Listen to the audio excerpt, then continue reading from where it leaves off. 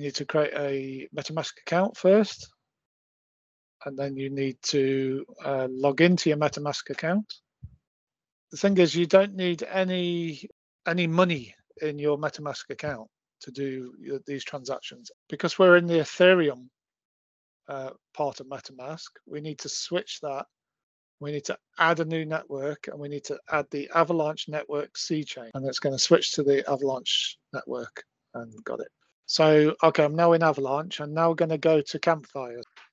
Okay, this is where it gets interesting, but also quite confusing.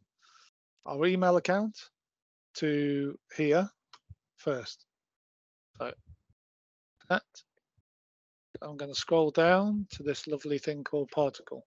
That sends a code to my email. I need to go now to my email, copy the code, paste the code. Uh, then you need to do this second uh, connection, which is to sign in to view. Um, go to portfolio. And your portfolio will basically show you everything that's in your wallet. So if you see here, there's a zero one NFTs.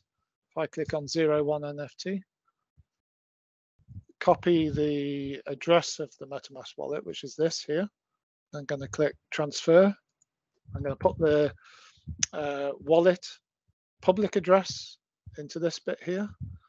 Um, and it's basically saying you can transfer this for free. And then confirm. Okay, great. So that's transferred. So I'm going to sign out of this account now. So so basically now we're going to log in to the MetaMask account because that's where we've transferred these tokens and the hope is they're going to be in there. So I'm going to go MetaMask and then do the same thing again, sign into view. So I'm going to go to portfolio with this account. And there you go. In the portfolio, it was empty before, but in this one, I've got all the items that I transferred. So I'm going to prove this. So we're now ready to list. So I'm going to list this token. I can confirm that. There you go. We're in the front page of the listings for people to buy it.